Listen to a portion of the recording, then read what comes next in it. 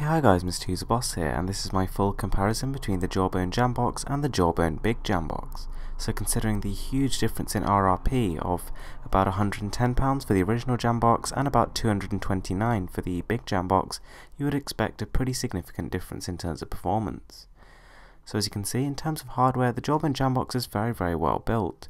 It's actually solid, it's got a nice rubbery finish on the top and bottom, and then a speaker grill that goes all the way around the device. It also has a touch to call feature as well as play, pause, skip track and Bluetooth 2.0.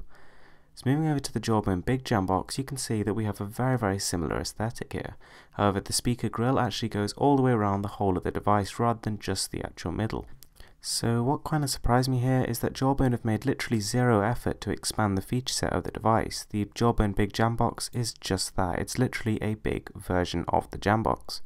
So it has the same Bluetooth 2.0 connectivity, as well as the ability to actually plug it into a mains to save on battery, etc.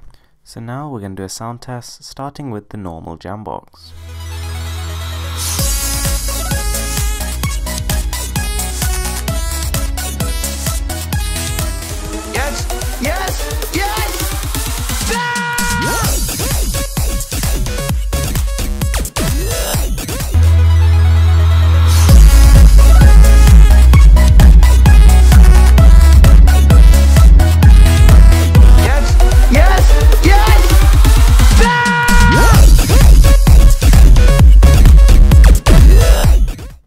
Okay, so there you have it. Although I was significantly impressed with the actual original Jambox when it first came out, compared to the big one it absolutely pales.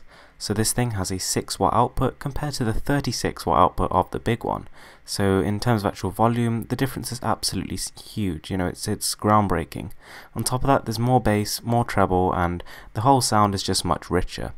If you have the money for the big Jambox, definitely go for it, it can fill just about any size room.